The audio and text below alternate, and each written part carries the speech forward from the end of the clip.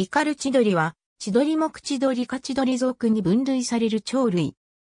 インド北部、カンボジア、タイ、大韓民国、中華人民共和国、台湾、朝鮮民主主義人民共和国、日本、ネパール、ベトナム、マレーシア、ミャンマー、モンゴル人民共和国、ラオス、ロシア南西部下記に、中華人民共和国北部、ウスリー、朝鮮半島などで繁殖し、冬季になると、中華人民共和国南部や東南アジアへ南下し越冬する。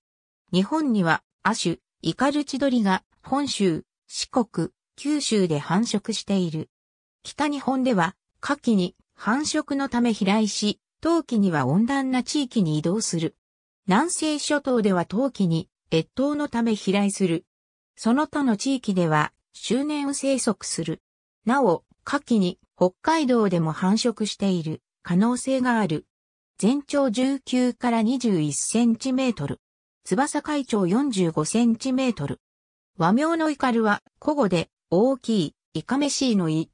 オハは長く、静止時には翼よりもオハの先端が後方にある。頭頂部と背面は肺褐色、腹面は白い羽毛で覆われる。目の周囲の羽毛は黄色。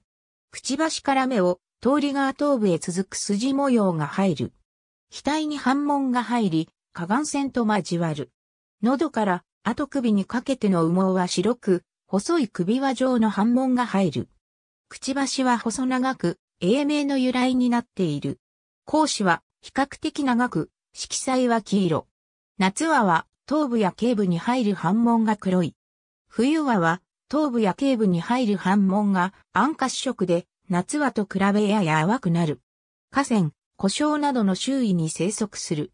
河川の中流域から上流域で多く見られ、海岸や干潟で観察されることは稀ある。冬季には小規模な群れを形成する。食性は動物食で昆虫類、節足動物、ミミズなどを食べる。水辺を徘徊して獲物を探し、捕食してはまた徘徊するということを繰り返す。繁殖形態は卵生。繁殖期には縄張りを形成する。